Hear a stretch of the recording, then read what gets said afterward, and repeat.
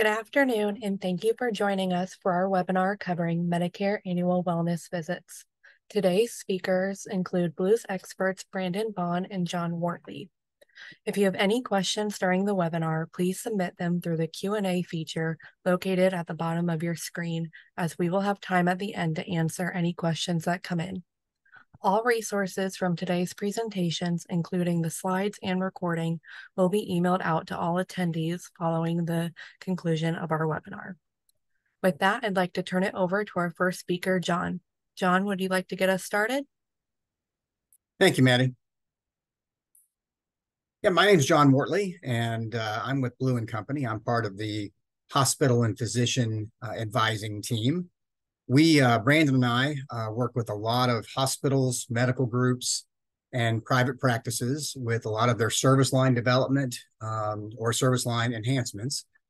And today we're going to talk a little bit about annual wellness visits, the Medicare annual wellness visit program, um, and how how you can benefit from considering this or maybe strengthening um, your organization's position with your annual wellness visit program. The, uh, the the first thing we do is we typically kind of just identify what is the Medicare annual wellness visit. Uh, most of you are aware that it is a uh, it's a visit uh, with your primary care provider that's covered by Medicare and Medicare Advantage. It's a it's a yearly appointment um, that's designed to create and or update uh, a personalized prevention plan. Um, this particular benefit is at no cost to the beneficiary um, and it is is very much um, encouraged by both traditional Medicare and Medicare Advantage. Um, as a lot of us are aware, um, traditional Medicare doesn't cover a, a, an annual physical exam, and some of the Medicare Advantage plans don't, but some do as well. So the the in terms of just a couple of, uh, of bullet points, it is not a routine physical, um, and it, it is it is very much an in depth health risk assessment that is designed to find those areas um, for this particular uh, age group and population that may be an issue. Maybe they haven't seen their provider for quite some time. Uh, maybe they haven't had a mammogram or a colonoscopy or another screening service that they that that they would be eligible to have. Um, the uh, one thing we always mention is that for traditional primary care practices, um, they can also report a, a evaluation and management code in addition to the uh, annual wellness visit. We don't recommend this in the RHC, FQHC settings um, because you're going to get your PPS rate for each of those visits. And we work with a lot of RHCs who do annual wellness visits, and they typically have a good success rate as we work with them on scheduling those outside of other types of visits uh, where they're going to see these patients. Um, what's the value um, of the annual wellness visit? Well, the, first thing we always want to focus on on the patient. Um, it really is a benefit to the patient, um, especially traditional Medicare patients. Um, and and there's a lot of things Brandon and I are going to talk about that that we find during these annual wellness visits that may not have been found if we wouldn't have done the AWV. And and we want to we want to help and and participate and supporting Medicare and Medicare Advantage uh, in doing these, so we can we can help find um, you know unfortunate things like cancer at maybe stage one or other things that that can be picked up and, and help people live longer. And that's really the design of the program. On this screen, you see the graph on the left. Um, you can see that um, between 2014 and 2021, the um, Medicare annual wellness visit participation rate, um, it varied um, from 15% um, up to 23%, dropped back down a little bit during the pandemic. Um, we have seen uh, industry leading hospital systems uh, with pretty large medical groups get as high as 70, 75% penetration rate. we put the, the many clients at 7%, um, because that's really where we see a lot of our clients, the, the critical access hospitals, uh, small, medium sized PPS hospitals, where they kind of start um, in that uh, five to seven percent uh, penetration rate. And so there's a lot of other benefits that, that the health system, the hospital, um, and even uh, pr- uh, private medical groups, uh, primary care groups can benefit from. Obviously, it aligns with population health management. Um, it improves the uh, quality scores, acuity scores. Um, it identifies additional services, as I mentioned, uh, colonoscopy, Cologuard, uh, other screening services like mammograms, uh, sometimes AAAs. There's other things depending on risk factors and age and so forth that patients are eligible to do. And that equates to about $350 in downstream revenue, either to the practice or to the ho- hospital system for every AWV performed. Um, it can pro- provide and improve loyalty of the patients to the hospital or to the doctor. Um, uh, reduces readmission rates, uh, improves risk reduction and patient safety. And of course, during the pandemic, um, and it has extended beyond the pandemic, uh, being able to perform these virtually. And Brandon's going to talk a little bit about that. We've had a lot of providers who have been very successful in performing these virtually. Um, good work RVU uh, values for providers. And the practice reimbursement at $172 for the initial AWV and $130 for the subsequent AWV um, is is pretty good for most practices, and, and of course, in rural health clinic settings, that is going to probably be higher depending on the PPS rate. Um, we wanted to share this because I, I, know we've got a, a few uh, uh, financial folks in the audience. Um, it's very typical. We see a, a group that's a critical access or small PPS hospital that has 5,000 Medicare lives or Medicare Advantage lives in their panel. And our goal is over a one, two, three year period to help our clients get from that 7%, 5% penetration rate to 50%. And that ultimately becomes worth potentially a million dollars per year for the practice and hospital net revenue. Um, and for most hospital systems, that's that's a nice chunk. And and uh, and our goal in our process that Brandon's going to walk through next is really to to help alleviate some of the uh, the pain points in getting involved in this type of program, um, because we know that many of our our health systems and hospitals may not have the resources to throw at this. So we really try to be to be those resources and to help um, anybody who's interested in, in moving forward with this program really jump in there and and have us be the feet on the ground that helps them begin the program. So Brandon, I'm going to hand off the next couple slides to you, and you can talk a little bit about how the program gets developed and and uh, the areas where we can help. Hello, everyone. My name is Brandon Bond. I am considered your boots on the ground guy uh, when you're when you're looking at starting a program like this. Um, where Blue can come in and help, as John stated before, is that most hospitals that we work with don't have the resources to kind of throw at an annual wellness visit program. What we like to do is is basically come on in, introduce ourselves, um, and, and we do what we call an on-site assessment. Uh, during that on-site assessment, we will interview staff, talk to a point person, um, anybody that needs to be in the room that are that can be affected by the annual wellness visit. So your physical therapy, your your AAA screening people, your colon, colonoscopy people, all those we get them in a room and let them know that they could potentially see an influx or increase in their visit volume um, and how this could either benefit them or it could be a potential barrier if they have access issues or whatever the case may be. Um, once we get in the room with them and start to discuss this, we could be, begin to formulate a plan, whether that be to help improve access, um, we could talk about a communication plan where we could start sending out letters to the patients, how we could start scheduling these visits, and, and basically working through any workflow issues that we might have um, in doing these sort of visits. From there, uh, essentially what we'll do is, is pick a pilot site um, and and myself and a couple members of the team will go out to that pilot site and begin to work with them from the front office all the way through the back office. So how do we call and schedule these patients? Are, are we sending letters out to these patients? Um, if patients are coming in already with letters, so what you'll see is with a lot of these insurance companies, they'll come in with letters stating that, hey, we have um, received this letter from from Anthem, and they said I need to get this visit for a hundred dollars. How do we work through that um, and making sure that it's scheduled correctly? From there, what we'll do is uh, get that pilot up and going um, where whether I'm helping room patients and, and doing those on-site assessments with, with the docs, um, or a member of my team doing that, um, where we'll sit down and, and work through all those objectives.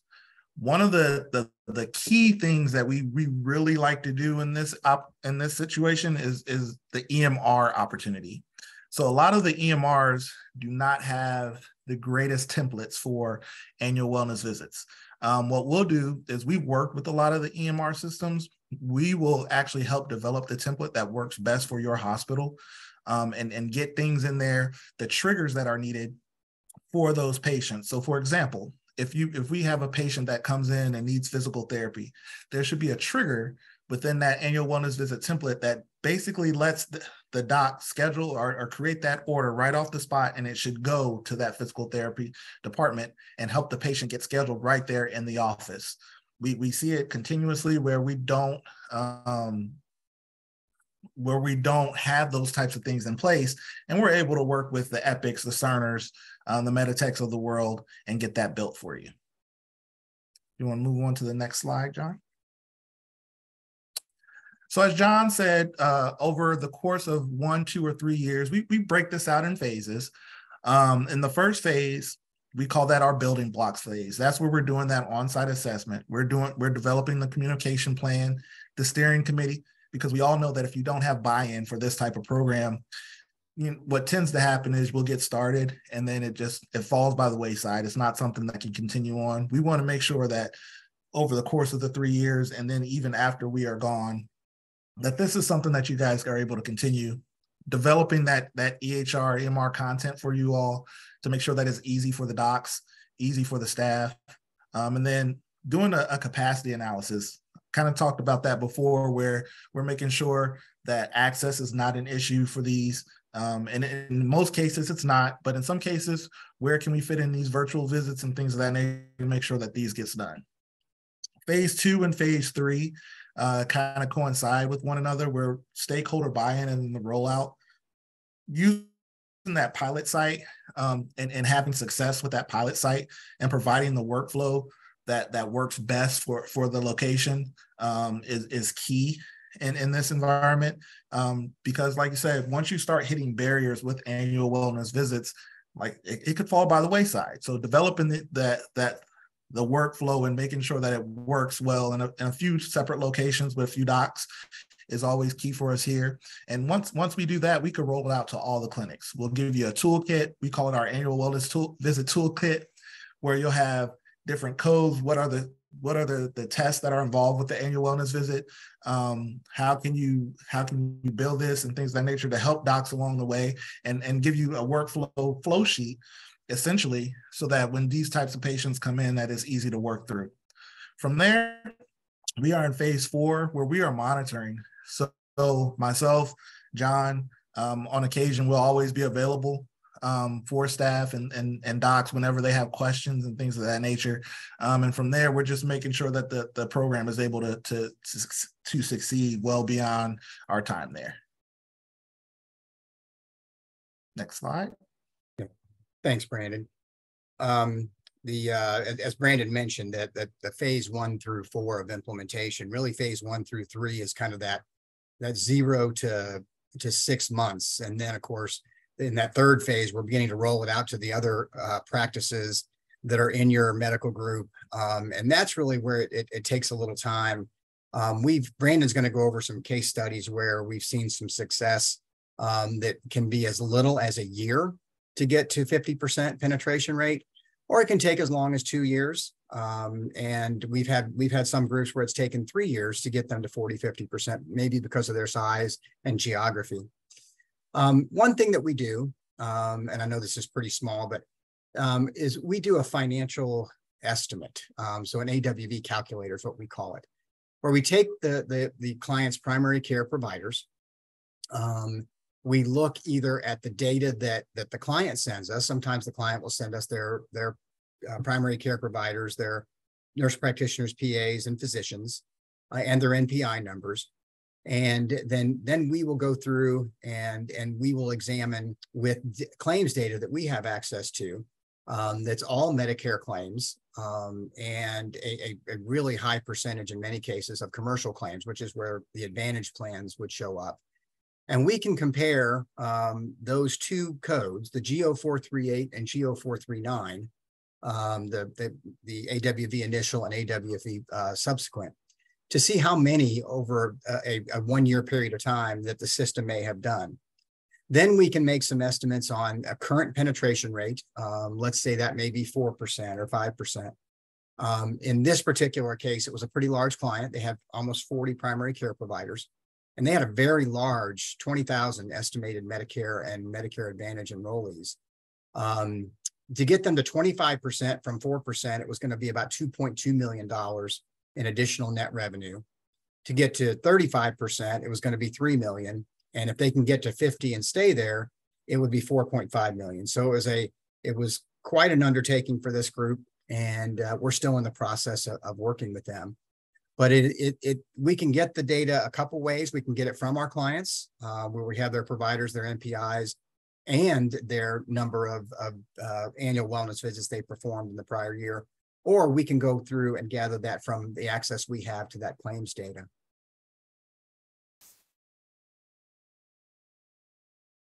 So from here, we're kind of going to talk about uh, what does it look like um, case study wise and uh, when you bring Blue in to do something like this.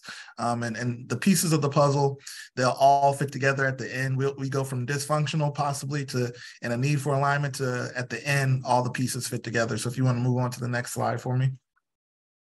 In, in these cases, these are all actual client experiences um, that, that we've done. As you can see, we have a few uh, critical access hospitals in here and then a couple PPS hospitals. So in our first one, uh, it looks like they had around 6,600 Medicare or Medicare Advantage lives. Uh, they started off prior to us coming in with a 4% penetration rate. In years one and two, uh, we were able to get them to 46% um, which is a quite a large jump. And then finally in year three, we crossed that 50% uh, threshold and got them to 57%. So within those three years, they were looking at 1.4 mil million to 1.9 million in additional net revenue. Uh, another per year. Per year. Yeah. Um, another uh, example two, a critical access hospital with about 2,700 Medicare, Medicare and Medicare Advantage lives. Uh, looks like they're at 2% when we first started. Um, in year one, we were able to get them about 40%. Um, at the end of year two, uh, they were at 52%. And, and they had around between 400 and 700,000 in additional net revenue a year. Uh, example three is another PPS hospital of about 7, 7,000, 7,500 Medicare lives. Uh, they started at 5%. Um, we what we did here is we actually had two assessment that were assessments that were performed for them in 2019 and 2020 um, using the data. Uh, what we learned from the assessment is that they were currently sitting at at six percent. Um, they they haven't had much improvement due to limited resources and, and workflow and EMR optimization, but it's a client that we've been able to, to identify and are looking to help out in the near future uh, to get them uh, over that hump. And, and an example hey, Brandon, if I could just interrupt real quick. Yep. That, that number three is is a client that uh, they've got they've got a, a, some pretty good resources, and they really felt like if we gave them the roadmap, they they could be successful and and uh, within their own groups, uh, managing and, and being able to do these and and uh, and they've tried that. They they have asked us to come back down and take another look. Um, sometimes with with with the smaller, uh, even PPS hospitals, the the the issue really is if you've got practice managers that you're expecting to do one more thing it just becomes more and more difficult and and especially if they've not done them before. Um, and i know that sounds self-serving but we we try to be that extra set of hands and feet and and and um, and some maybe some skill set that we can teach and and and hand off you know the the the, keys to the kingdom if you will um, for success. I'm sorry brandon go ahead with the fourth but yeah, and as John said, that that one more th- thing. Uh, I used to be a practice manager in a previous life, so when, when you ask us to, do, you know, sometimes it just becomes one of those barriers, and it just falls by the wayside, as I say before. So, an example four is another critical access hospital, uh, around 3,100 Medicare lives. Um, it looks like we started off at 1% with them. Um, and in, in one year, that was one of the examples that John told you in one year, we were able to get them to 50%. Um, and and have monitored them along the way, and they pretty much stayed there. from I'm correct, right, John? Um, and and they're looking at between 520 and 600,000 in, in the first year of net revenue. And, and this is where, like I said, the, the pieces of that puzzle all fit together. At the end of the day, we call this a win-win-win situation. It's a good, it's good for the patients, it's good for the system, um, and and then it's it's good for the docs at the end of the day to to do these types of visits. And and it's something that Blue has has developed since I've been here four and a half years now, and, and we've gotten pretty good at it. So, uh, next slide. So now we are at the, the section where if you guys have any questions, we'll be more than happy to answer those and, and talk to anybody about next steps.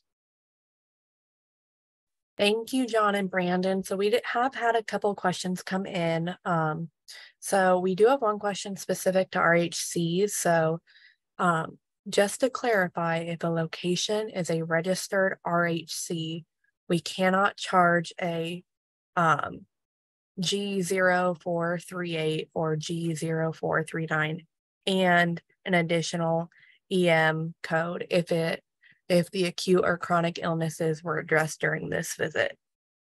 Well, let me let me just say that it's not that you can't, it's just that you're not going to get paid for it. Um, so you could you could theoretically do both of those. Um, but you, if as you recall, being an RHC, you're only going to get that PPS rate for one visit. Um, and you know, some things that some of our providers do for like uh, blood pressure checks, and Brandon can walk through this, is that for very minor visits, um, some of our RHCs decide to go ahead and do the annual wellness visit. Um, and then the because the blood pressure check is part of that. Um, but if you're doing a, a, pretty high level, a 99214, um, and you would decide to do that um, G0438 or G0439, you can do that in terms of helping with all those things we we mentioned. Um, but there's there's not going to be the benefit of being able to be reimbursed for both those. We've had good success in in in scheduling or rescheduling most folks to come back for their AWV or do it virtually. Yep, and that's what I was going to say. Usually in those situations, we'll allow we want to keep that that high level visit um, and then see if we can reschedule that patient back for a virtual visit the next day or sometime in the near future. Thank you. Um, is there a minimum time that the provider has to be in the room for the annual wellness visit? I'll take that one, John. Uh, so typically, that's usually one of the barriers that we face. Um, we like to schedule these appointments for at least 30 minutes. Um, and and majority, I would say 90% of the visit is done by either that the medical assistant or the nurse on staff. Um, if, if, in a perfect world, I would like the doc to be in the room for 10 or 15 minutes. Um, but in some in some sense, instances, the doc can be in there a little bit longer. But it's all about training a workflow um, and knowing that the medical staff should be taking care of 90, 90 to 95% of that visit before the doc even, even gets in the room. Thank you. And then um, does the provider have to be the one that completes the annual wellness visits? You want me to answer that one, John, or? Sure, either one. Yeah, okay. Um, typically, um, like I said, the, the medical staff, that nurse or the uh, medical assistant is doing 90 to 95% of that visit. Um, in most cases, it could be a provider, nurse practitioner, nurse practitioner, physician's assistant. Um, we've even seen um, a pharmacist, pharmacist. Can, can, do them as well. Nurse midwives could do these visits. Um, so no, it doesn't have to be necessarily an MD that that completes these visits, and, and we provide all that kind of information in the beginning. because um, in some cases we might need to set up a what we call a quote unquote annual wellness visit clinic and it might not be ran by md it might be the pharmacist or uh, physician assistant so no and the the only follow up I, I would have to that is you know it's it's ultimately billed under the the licensed medical provider so they do have to be involved um, as brandon said it's usually 10 minutes or so um, of, of their time and uh, So that that's that's certainly something that that we walk through with everybody involved. So another question that's come in is, can you kind of explain more the virtual part of um, how these visits could be done virtually? So does this mean that the patient needs to be on a computer or can these be done via telephone as most elderly patients might not have access to a computer? So during the during the pandemic, uh, they did open these up to being done via telephone.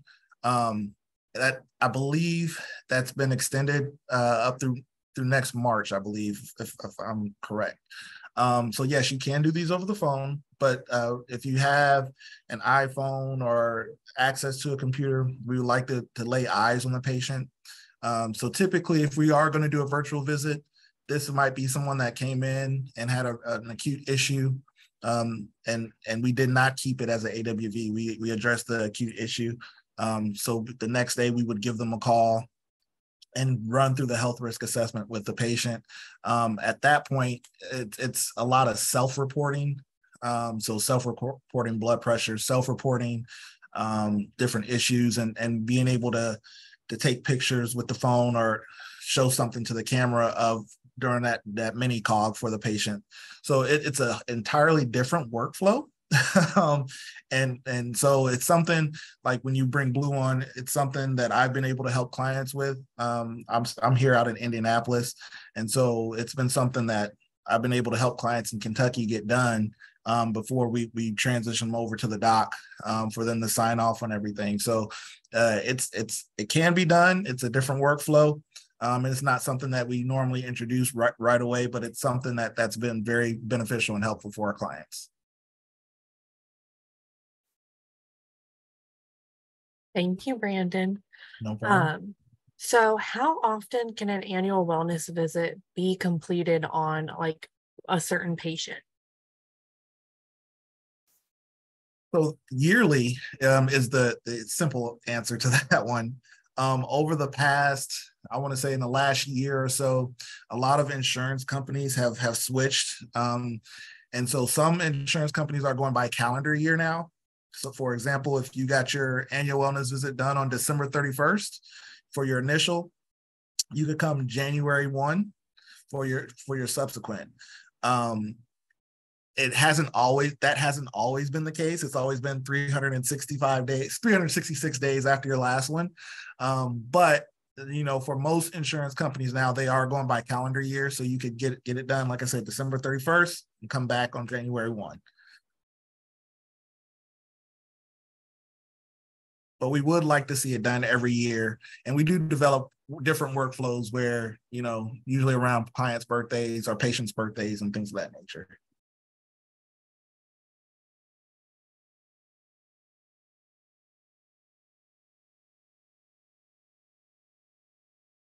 Um, another question came in. So, um, can you explain kind of Blue's process? So, what does Blue get paid to complete the assessment slash like boots on the ground work at the arm in the office?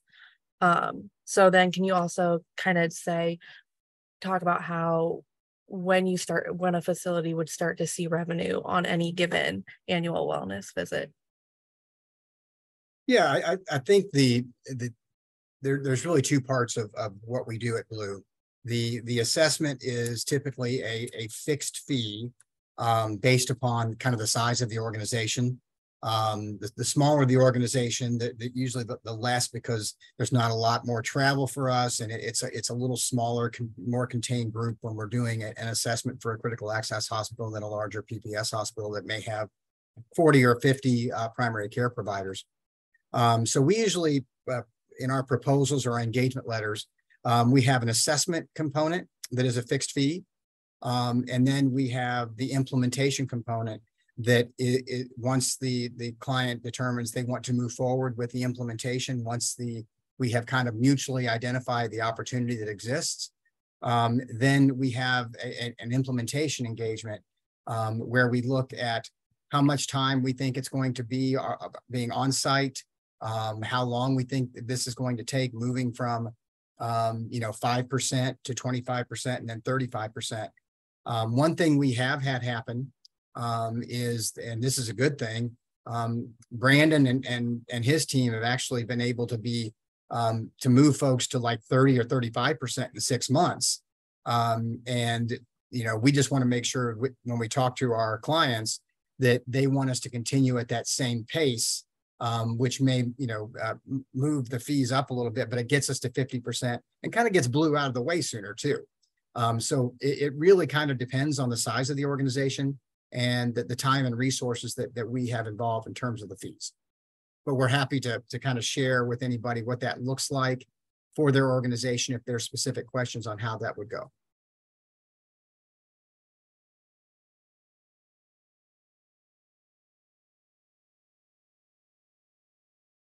Thank you, John. Um, right now, that's all the questions we've had come in, but we'll give it a few more minutes just to see if any more come through.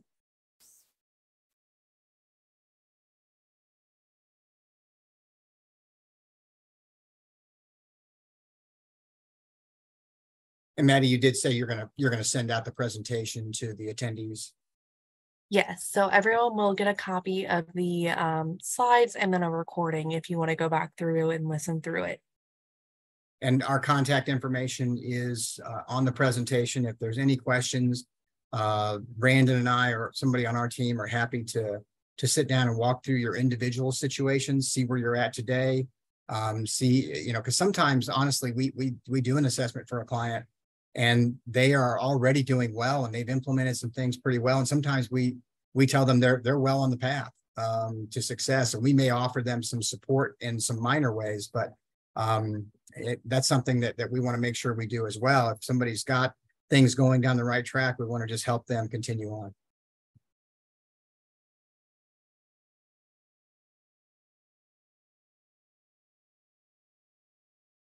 Thank you, John. So um, as a reminder, if you have any more questions, feel free to use the speaker's information located in the slides that'll be emailed out later today. Um, and with that, I'd like to thank all of our attendees for joining us today. Um, thank you and have a great day. Thank you. Thank you.